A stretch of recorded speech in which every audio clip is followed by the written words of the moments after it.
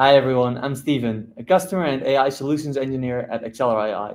In this video, I'll be going through our setup of the Orange Pi 5 Plus with our M.2 card. So I have it here, let me just switch to my hands. Yeah, this is the Orange Pi 5 Plus, and this is our M.2 card. But if you, actually, if you buy this on our web shop, it's gonna look slightly different. It's gonna look like this. This cooler is actually um, a little sneak peek of what the next generation cooler may look like but we're still evaluating this under properly straining conditions. So this may not be what the actual product looks like. So yeah, for this Pi, I've put this little feet on here because I don't like electronics touching and scratching my desk. So let's just start setting it up, shall we? Um, I bought this, this SD card. Uh, it's a 256 gigabytes. You really don't need that much. My colleague Victor actually wrote an extensive bring up guide for this Orange Pi, which we'll be following. Here it says basically download this image and use Balena Etcher to install it. So let's start doing that. So I've already downloaded the image and unpacked it for you so that you don't have to wait for it. So here it is, Orange Pi 5 Plus. Load it, awesome, select target. There's just one thing, that's my SD card reader.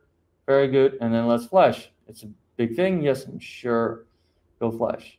All right, so with 93%, it took a few minutes. It's just flashes, then validates, and it is Done. Yep. Here we go. So I've got the SD card. Push that in, start hooking everything up. So this HDMI cable actually has three HDMI ports, and one of the three is an input. I always forget which one, so I just grab the middle one because I know that that one's an output. Internet, power, a keyboard. And then it should boot up as soon as it has power after a minute. So there's a little red light over there. There you go, it starts flashing. And then let me move this camera to the Orange Pi actually. Yeah, so this boot takes a minute. Afterwards, we're just gonna boot into the desktop right away. We have a mouse, we have a desktop. There it is, awesome. So, okay, I'm actually going to SSH into this from my PC because I like that more. You don't have to, you can just use the terminal here. But I want to SSH, so let me just check the IP. So let me swap to my screen. Okay, so we're in. So let me SSH to it. The username is always Orange Pi, and then my 192, 168, 88, and 216. The password is, oh yeah, I want to add that. The password is also Orange Pi, and then we're in. So if we want to clone the SDK, we actually first need to generate an SSH key.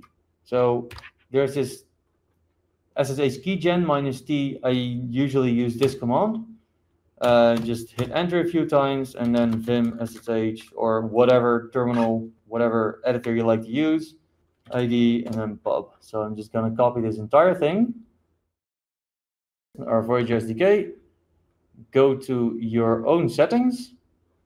We have this SSH and GPG keys. Everybody needs to do this, by the way, because if you want to clone your a repository from Git, you need to say, yeah, I actually know that this device is mine. I'm just gonna call it Orange Pi 2 because I have one in there already, and then push it in there. So I need to authenticate. Let's just skip forward on this because you're not gonna get to see my authentication code. Let's go back to the Voyager SDK because we want to clone it. So here's the Voyager SDK. I'm just gonna grab code, SSH, and then completely clone this, gonna exit out of this, and then git clone that thing. Yes, I trust it, because it's my own company.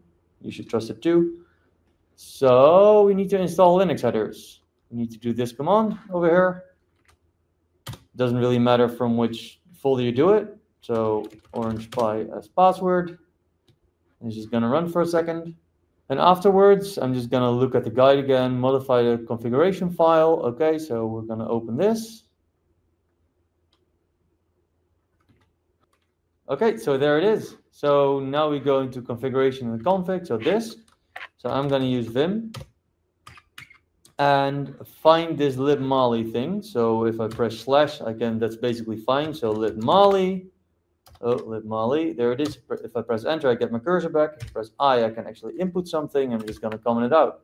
Press escape, press slash again, libmali, press enter, and then press N to find the next one. There's one more. I, escape, slash libmali, enter, and yeah, that's all. So escape, colon, WQ, which means right quit. And there we are. So we can start installing. Uh, so we need to use a user and a token. I'm not going to show you mine. You need to get your own. Um, yeah, so let's just start installing.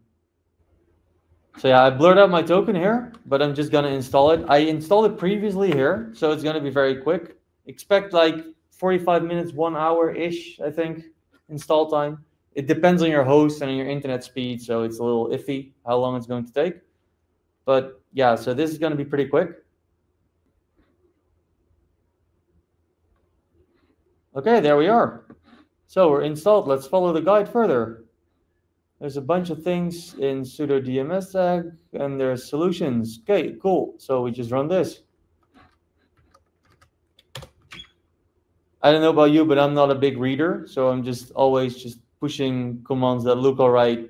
Just install it. If it works, cool. I don't need to read any further. If it doesn't install, then I'm gonna start reading. This is horrible advice, but you know, it works for me.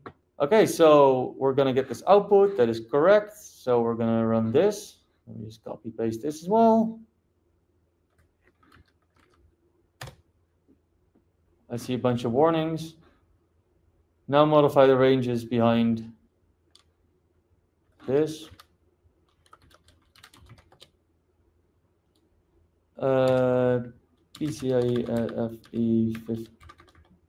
There we go. And then ranges. Where's the ranges?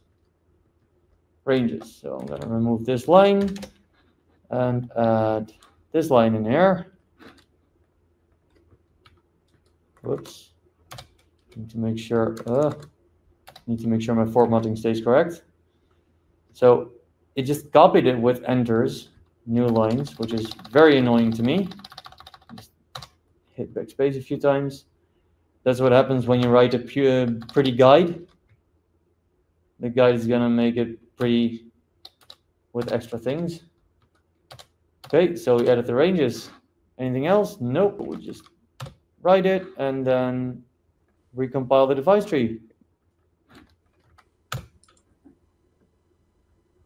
Okay, that one's super quick. Backup original DBT and move. Okay, so in our boot DBT, boot DTB, Rockchip.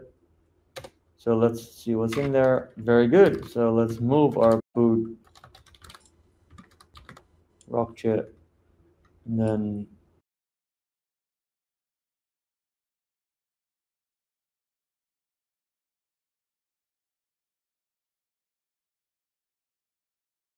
plus DTB and move that to boot DTB rockchip backup dot DTB, whatever, I'll remember the name. Oh, permission denied, need to put a sudo in there. That makes absolute sense. And then move the RK thing to here.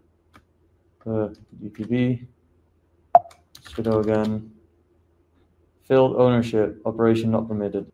It's DTS. Yeah, that's DTS. All right, reboot finished. Let's SSH back into it. Orange Pi. For SDK. Let's see, I got some general system configuration. Yeah, that's all fine. We need to source the environment first. I always forget that one. So we can run deploy and then put the network, or we can just uh, since it's a part of our model zoo, we already compiled it for you. So we can do download pre-compiled, YOLO-v8L, Coco, ONNX. And that's obviously going to be much, much faster. Because otherwise it's going to deploy the entire model on the Orange Pi and Rockchip is not a super fast processor. It's also not bad.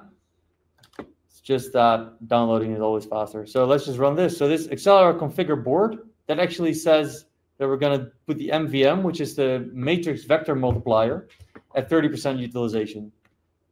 The reason we need to do that is because the MVM is actually a part of our core that uses very big spike power. So sometimes the power spikes a bit high when it loads a lot of data at the same time. Um, with this 30% thing, we limit that spike. So we make sure the Orange Pi can always deliver enough power to the M.2 card. It's not going to limit our performance by a lot, actually, so it's fine. So first we're going to run it with no display, and then afterwards I will swap to my Orange Pi screen and actually run a little test with a live camera as well.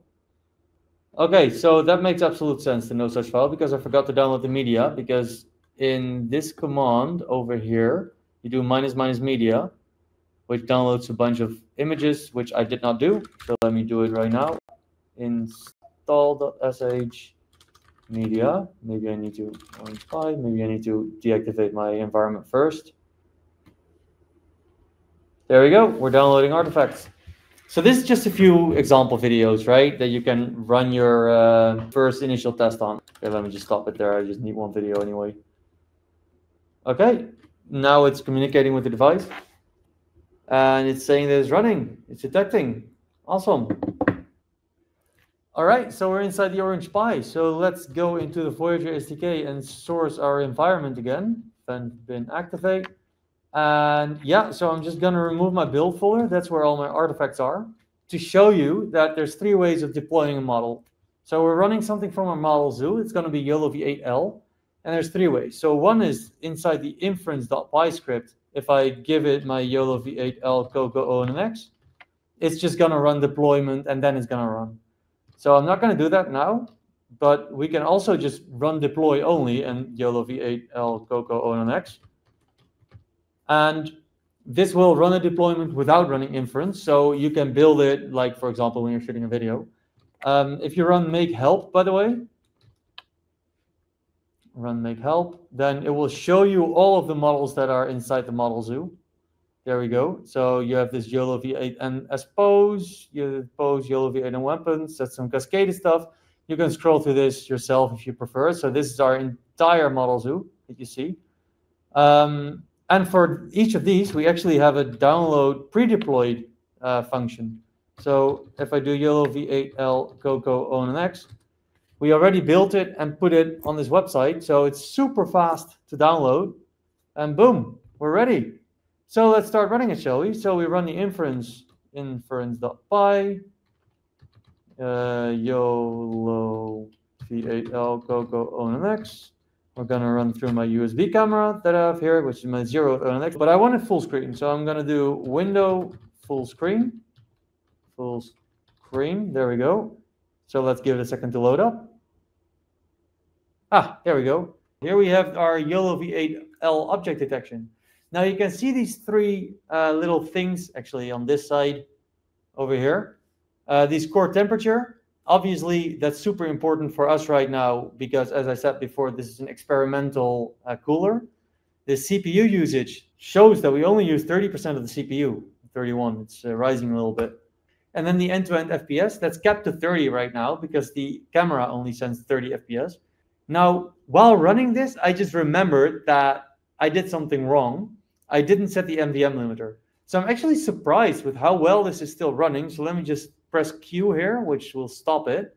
And then I will show you how to put the MVM limiter in there. It's inside our uh, tutorial. Exact same command, but I'm going to use an environment variable. Let me just, it's axelera configure board equals comma 30. So this sets the MVM limit to 30%.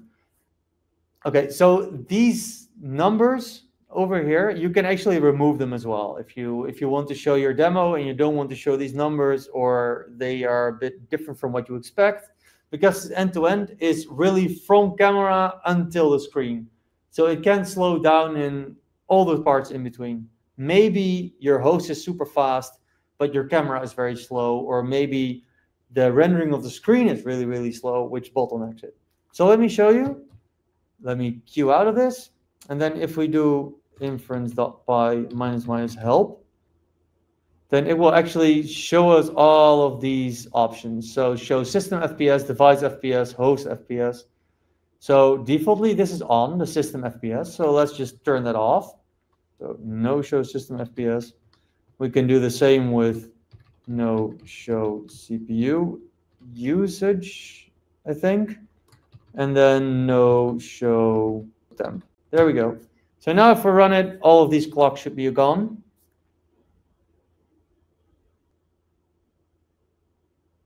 All right, there we are. And now we just see Voyager SDK on the bottom and no other clocks, nothing else. So this is how you run something on the Orange Pi with our M.2. I hope you like it if you do, leave a comment or visit us at the community. Uh, yeah, thank you for watching.